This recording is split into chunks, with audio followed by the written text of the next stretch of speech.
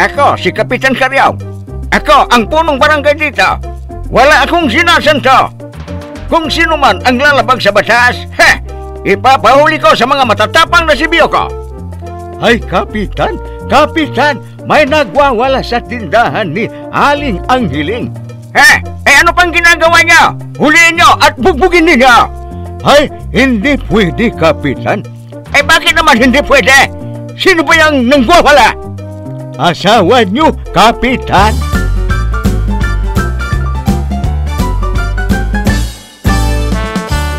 Kapitan Karyong! Mula sa panulat at direksyon ni Oscar Ora. Kapitan Karyong! Inihahandog sa inyo ng F3 Recording Studio para sa pambansang radyo ng Pilipinas, Bombo Radio Philippines!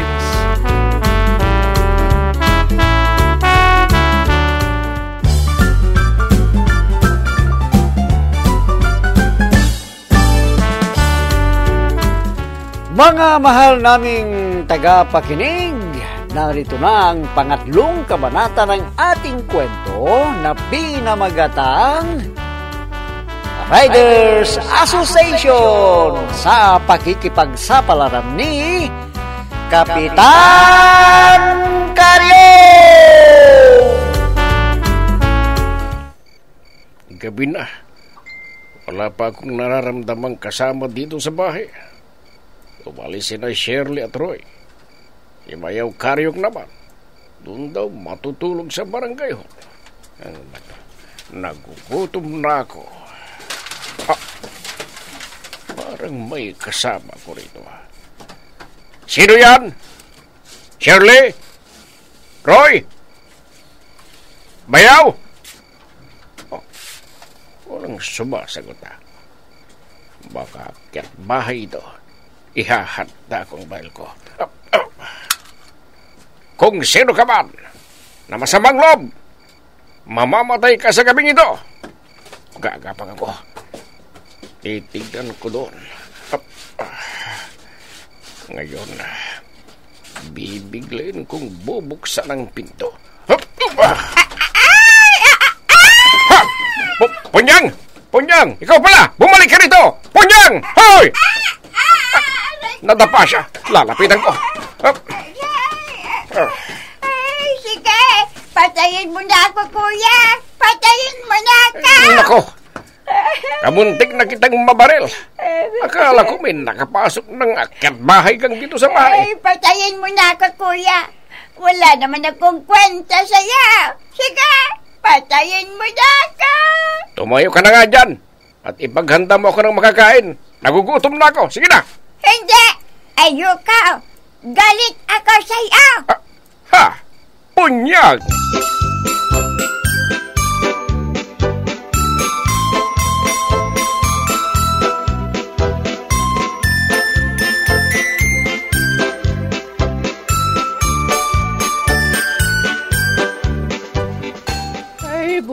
nandito ka na, kagawad Asyo. Oh, bakit ba, Aling Pilang? May problema ba?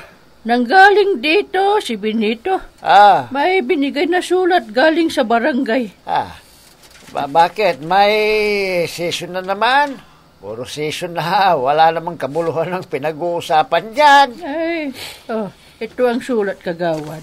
Eh, pagibasa na lang. Ah, ano kaya ito? Anong laman kaya ito? at Anong pag-uusapan? Ah, ah. Teka.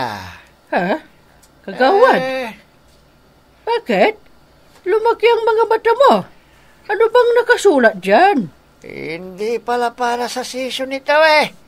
Kung hindi sumon, may nagpabarangay sa akin, aling pilang. Ha? Ikaw? Ikaw na kagawad? Ay. Eh, pinabarangay? Aba, aba bakit kagawad? Ha? Ang mga walang hiya. Ah, Sa palagay ko eh, sinulsulan lang nila ang mga taong ito na magreklamo laban sa akin. ha? Ay, ba bakit? Sino ba yung nagreklamo kagawad, ha? Marami sila aling pilang. Ah, Buisit. Alam ko na kung sino ang may pakana nito. Ha, alam ko na. Gaganti ako sa kanya. Gaganti ako!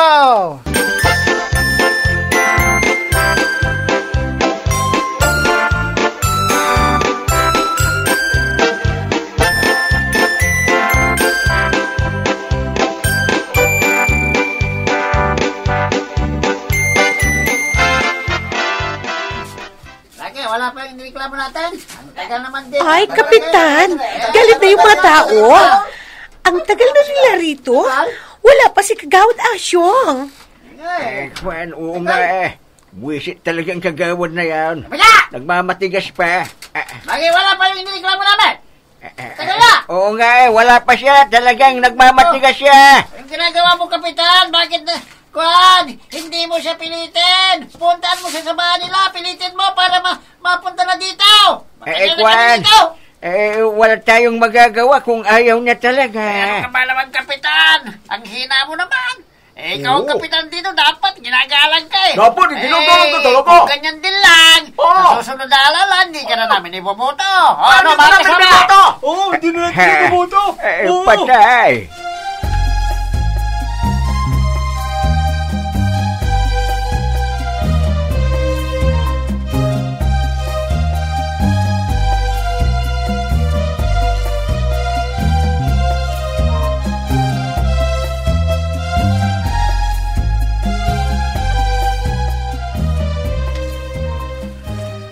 Ay, ang ibig mong sabihin, tinutukan ka ng baril ng kuya mo, kumara? Ay, oh, kumari ang hiling. Napakasakit sa loob ko. Maating pala niyang kitlay ng buhay ka. Ang sakit ng loob ko, kumari!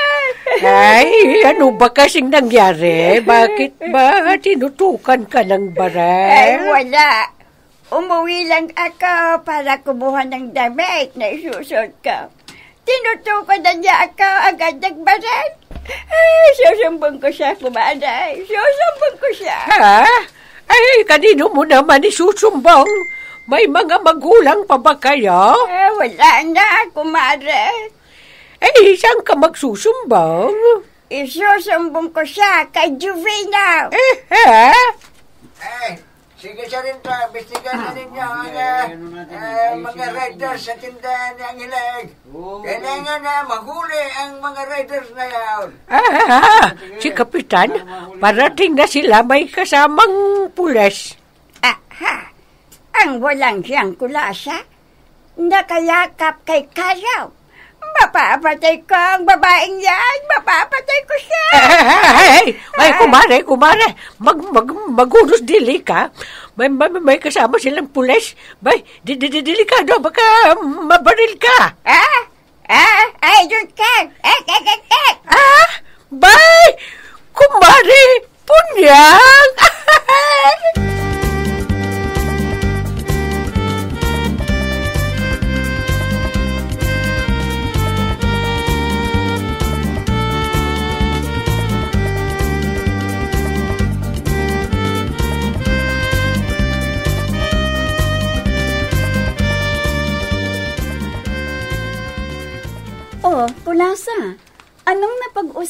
Kapitan at yung pulis na nag-imbestiga sa pagkabangga ng rider sa tindahan ni Aling Anghiling? Ay, sabi ng pulis, malapit na raw nilang matunton kung sino daw ang nakabangga. Hindi ba kilala ni Aling Anghiling? O hindi, dahil nakasuot sila ng helmet. Pero nakuna ng CCTV doon sa tapat ng bahay ni Mang Tomas. Kaya lang, eh, malabo. Hindi makita ang plate number. Sana mahuli na para mabayaran ang nasira sa tindahan ni Aling Anghiling. Kawawa naman siya. Alam mo, kinabahan ako kanina. Ha? Bakit ka kinabahan? Anong nangyari? Nandun pala si Aling Punyang sa tindahan. Nakita niyang nakakbay sa akin at nakaakap doon sa baywang ni Cap. Ay nako, tinitigan ako ng masakit. At para ako susugurin, ay buti na lang at may pulis. Ay kung wala siguro, baka kung ano na naman ang ginawa sa akin. Nako, ikaw naman kasi, bakit ka pumapayag na akbayan ka ni Kapitan? Alam mo namang pinagsesilosan ka. Oy, hindi ko naman mapagsabihan si Kapitan na huwag niya akong akbayan. Baka magalit o kaya sasama ang loob sa akin. Sa susunod, iwasan mong akbayan ka. Mag-ingat ka. Baka matyambang kang nag-iisa ni Aling Punyang at bigla ka nalang sugurin at saksakin. Ha? Pining! May,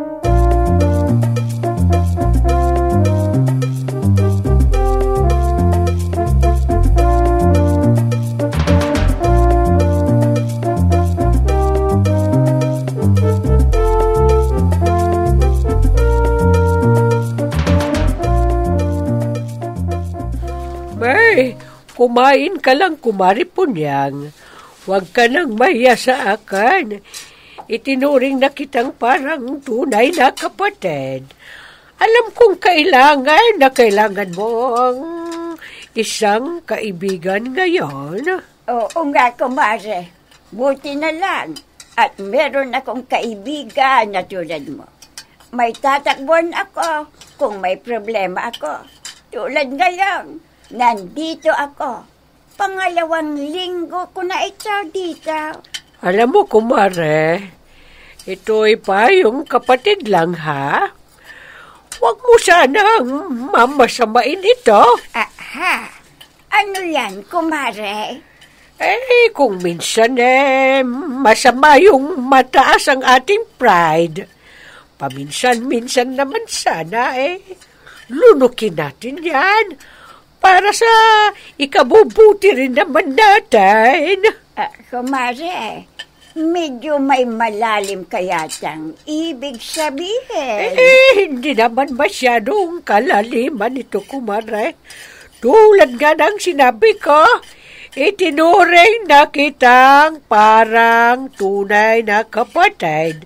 Kaya nasabi ko ito sa'yo, tulad ng sitwasyon mo ngayon, mismong kuya mo eh, katampuhan mo. Kung ano man sana yung sakit ng lobo sa kanya, eh, sabihin mo ng harap-harapan. Kaya kumare, ang mabuting gawin mo sana Ay, ay... tama na, kumare. Aha. Bakit hindi mo na ako diretsahin na ayaw mo na akong tumira dito? Alam kong yan talaga ang sasabihin mo eh. Ah, sige. Huwag kang mag-alala. Aalis na ako dito. Kukunin ko lang yung mga gamit ko doon sa kwarto. Ha! Ay, kumari po diyan, sandali lang. Kumare! Eh, eh nung, nung nangyari sa matandang babaeng yon, may saltik na rin yata ang utak.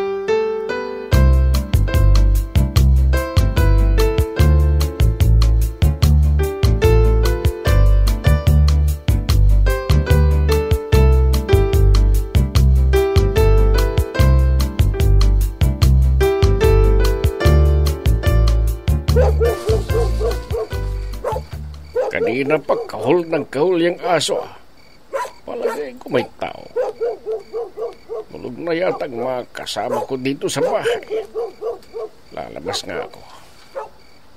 Lalabas akong dahan-dahan dito sa kwarto.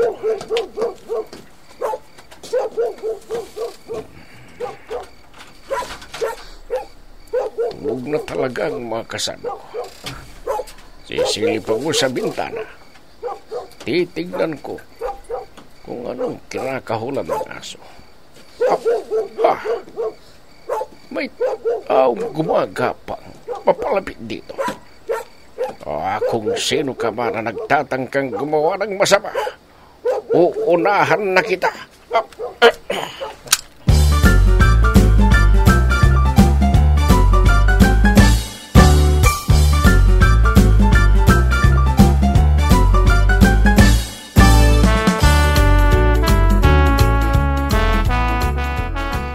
Kailangang makakuha uli ako ng mga gamit ko. Wala na akong pagbibihisan. Ah, kakapang ako.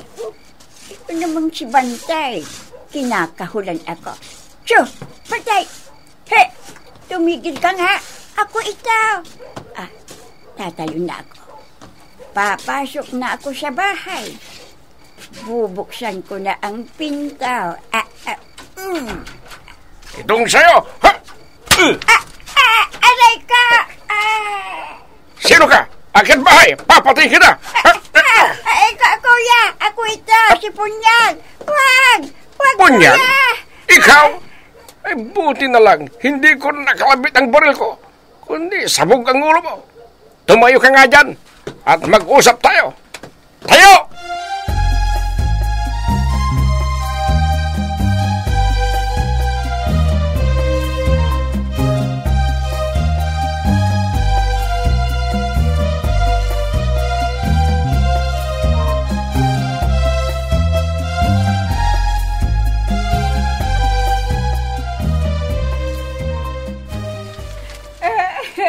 Nakakahiya ka, Punyang. Bakit mo ginawa yun? Ay, pasensya ka na, kuya. Nakainom lang ako. Eh, marami ang nakapanood ng video na yon. Eh, kinahihiya kita. Pero, wala na akong magagawa. Sapagkat nangyari na. May kasalanan ka rin, kuya. Kung bakit ko nagawa ang ganoon. Aba, ano naman ang kinalaman ko dyan? Parang wala na akong halaga sa'yo. Lagi na lang ibang tao ang pinapansin mo. Pero ako na kapatid mo, hindi mo pinapansin. Ay, nako. Talagang silosa ka nga. Kaya naawa ako kay Bayaw Karyong. eh. Ah, ha? Bakit ka naman naaawa sa kanya? Eh, paano naman? Napakasilosa mo. Lagi ka na lang nag-iiskandalo. Eh, kaya naawa ako sa kanya. Eh, sige. Kampihan mo na silang lahat. Kung gusto mo, barilin mo na ako para mamatay na ako. Barilin mo na ako, kuya. Ah, punyang. Oh, ano pang ginagawa mo, kuya? Barilin mo na ako dahil wala naman akong kwenta sa'yo. Barilin mo na ako!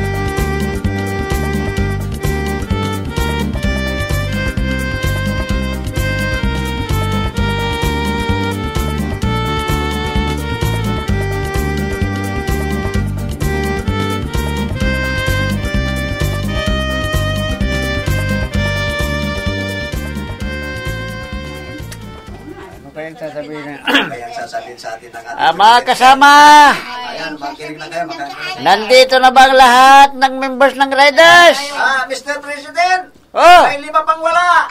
Eh sige, kung lima lang ang kulang, sisimulan na natin ang meeting na ito. Ah, sige po, Mr. President! Ah, bago tayo magsimula, nais ko muna kayong ah, ah, pasalamatan dahil sa kooperasyon ninyo.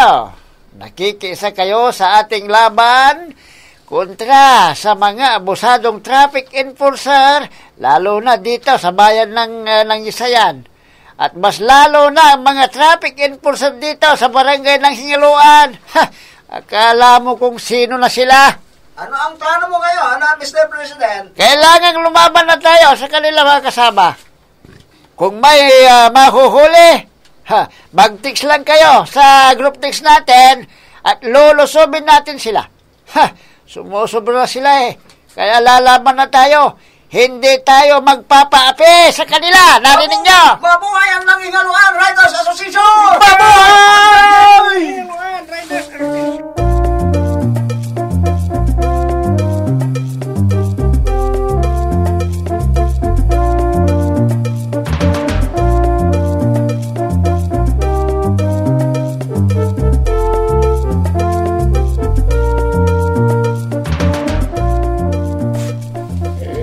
Beses nating pinadalhan ng imbitasyon ng kagawad asyong na yun.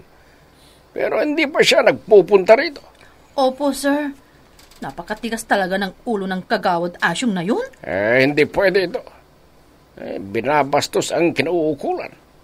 Eh, hindi ko na palalagpasin pa ito.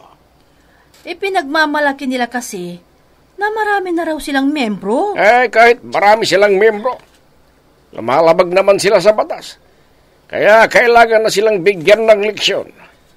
Ang mga asosasyon na gaya niyan ay hindi dapat gamitin sa pagyayabang. Marami nang nagre-reklamo sa kanila. Sinubukang ipatawag sa barangay. Pero anong ginawa? Binaliwala. Marami na silang nilalabag sa batas trapiko, sir. Ay oo, nagsisiga-sigahan ng kagawad asyong na yun. Kaya kakausapin ko ang hepe ng pulis ngayon at pag-uusapan namin kung paano huhulihin ng walang kawala ang asyong na yon.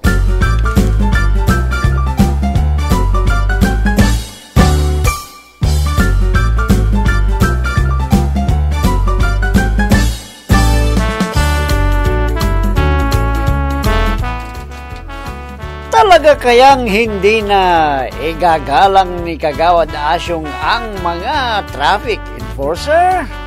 Magiliw naming taga-pakinig, abangan ang susunod na kabanata ng ating kwento na pinamagatang Riders Association sa pakikipagsapalaran ni Kapitan Karyong!